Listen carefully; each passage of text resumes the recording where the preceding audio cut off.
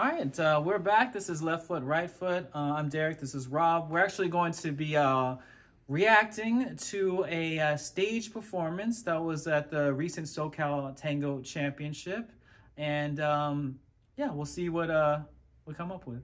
With the number three, please welcome Adelfo Cerame Jr. and Marisa Hamamoto representing Irvine, California.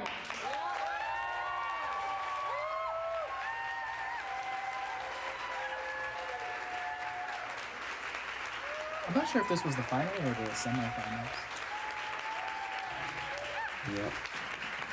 Yeah, I don't know. because there is. A, I remember the first time I saw, I was totally un. This was totally unexpected. No, I. I, I think this might be the semifinals because of the lighting. Interesting.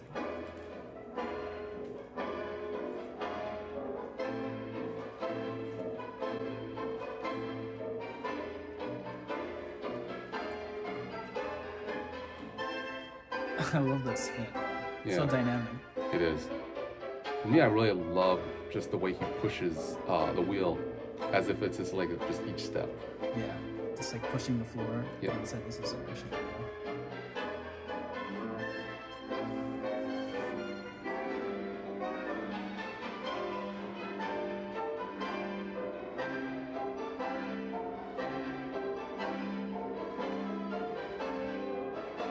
That's, that's so cool. It's a hold and you create that with the one hand. Yeah.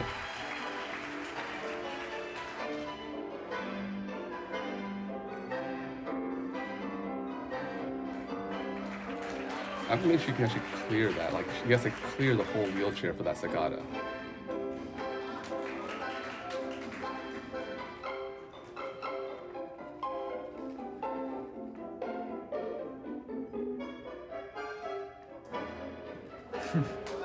I love that. Yeah. It's a bit like the men's boleo, but instead it's uh, The rocking backward. Yeah. Popping a wheelie.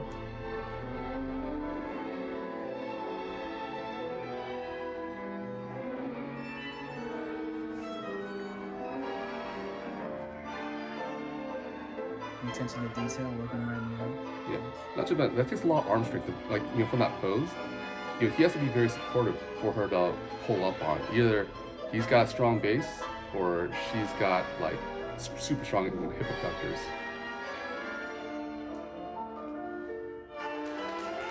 Oh,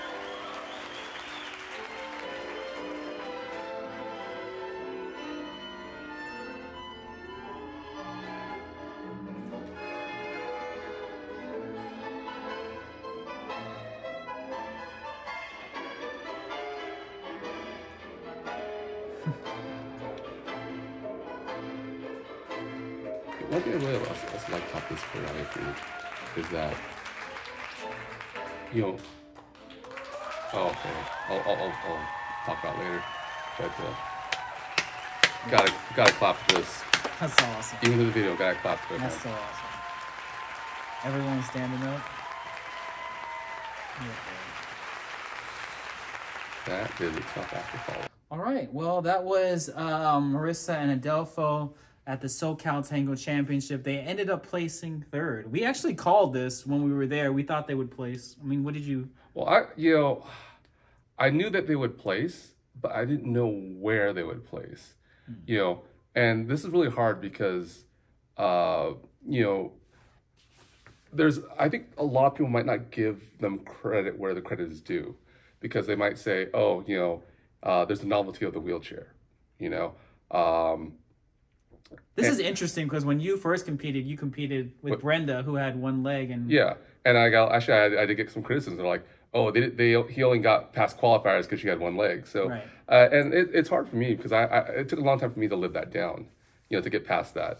But I think with this, you know, I knew that they would place not because he was in a wheelchair, but actually if you look at you know the synchronicity of how he rolled his wheels it was it's no different from when the person would take the steps you know uh, when there, there there have been wheelchairs in mundial and when i looked at those uh, that those stage choreography it was nowhere as crisp to the, uh, to this one uh, where that was just more of a, it was more of a spec. i would say i, I mean i don't want to be mean but it was more of a spectacle it's kind of like the novelty of a wheelchair and it was almost like the wheelchair was there, the person was there, and the instructor or the dance partner was doing all the work. Here, I, I would say Adelfo was a contributing partner. And not to mention, I would say he is a major contributing partner. The thing is, what I enjoy about stage tango, I'm no expert by any means. I feel like the performances that I feel like are really stand out to me are the ones that I feel something. Like Yeah. I get like an emotional response to. Yeah. And this one was definitely up there. Yeah, but is the mo- but see some people would say the emotional response is like oh the novelty of the wheelchair is like oh I'm gonna cry because th- there's a guy in a wheelchair who's putting his heart out there and he's living it, and I'm gonna say yeah that might be true, but I would say Adelfo really channeled himself and put himself out there. He went for it, and that's one of the things that I like about performances, is that when a couple really puts everything on the line, puts like puts their whole heart out. Because I've seen so many performances. Um, I mean, there's been a time when I would used to watch uh, scenario competitions, and I'm like, oh God, let this be over because you know they didn't put their heart into it. Either that, or they're so focused on the choreography that they didn't sell the choreography. They didn't sell the lead and follow. And yeah, there there was points or parts where like it's impossible to lead that because Marisa had to back lead and Yeah. Adelfo was holding her hands and Sure. and, and she was you know pulling the wheelchair. But regardless, the lead and like they sold the lead and follow. And I think that is a huge part in that scenario. And When you say sell the lead and follow, do you mean like it's a well, it, well, I, I say that like okay. Generally, people say that oh, you know, it's just choreography. There's no lead and follow. right? Um, but you know, I used to think that also until actually I joined the, the stage team, and you know, I had to lead every everything. And yeah, the other person knew what I was going to lead, Right. but part part of it is, you know, when you lead something socially, you lead something socially, and you're just really selling it to each other. You know, you're you're both contributing factors to the dance. But when you talk about S scenario, it's a lot harder because you're selling the dance to the audience, and they have, you know, the audience doesn't have to love it. You know, they, they don't have they, there's they have no, um, you know, they're not getting anything out of it. It, it. You have to love it to actually stand up and applause to it.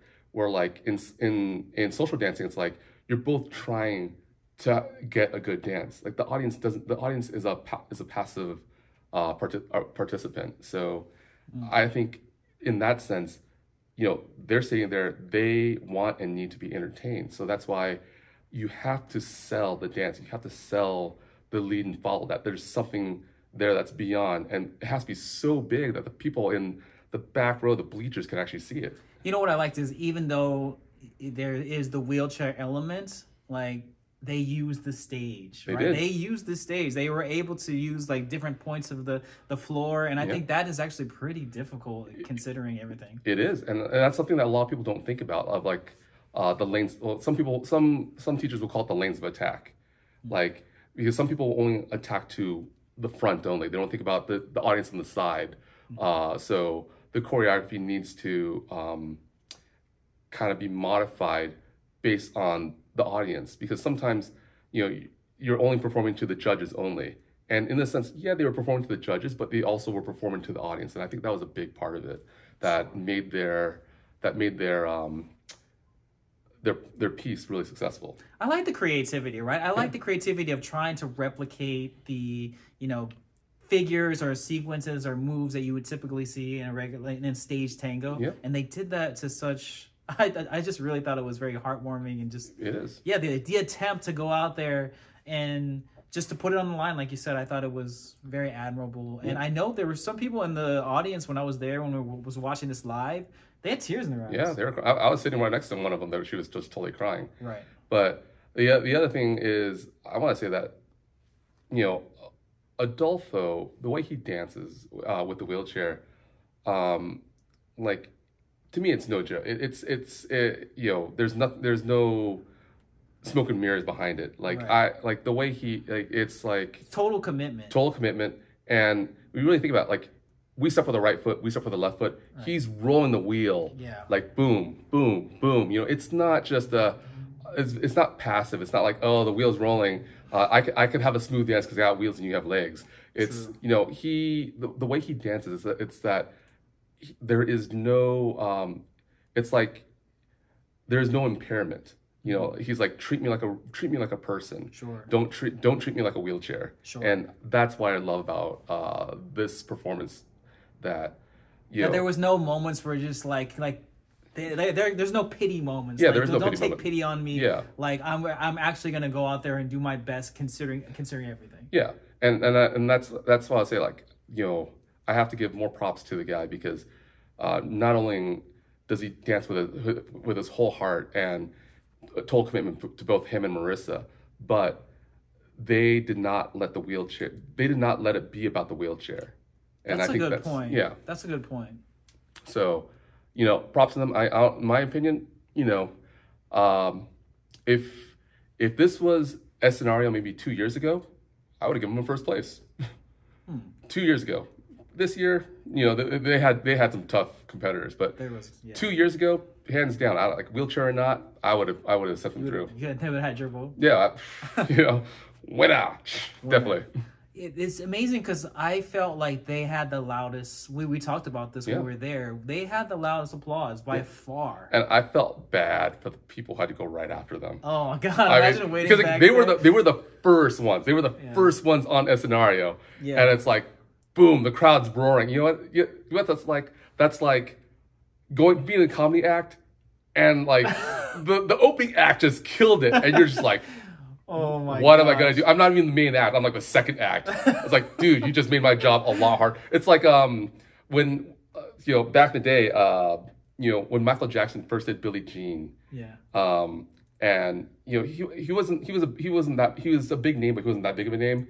You know, Adam Ant was there and everything. And I remember there's an interview with Adam Ant, and you know Michael Jackson just showed the moonwalk, well the backlight, but the moonwalk to Billie Jean, and Adam Ant's just like. How am I gonna follow that? and I feel like this is the same exact.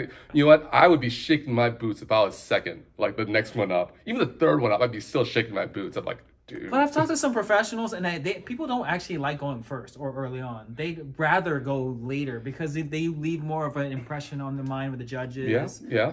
And yeah, it's just you don't want to be an opening act. Yeah, you don't. But the thing is, like, maybe this is changing the game, right? Like, when you think about races, right? Some people are front runners, and some people have that are the final kick. They have the final kick. They they pass everyone at the very end. Um, you know, and in a sense, everyone's been playing as like, you know, in a, in a racing terms, they're like they're the ones who have that final passing kick.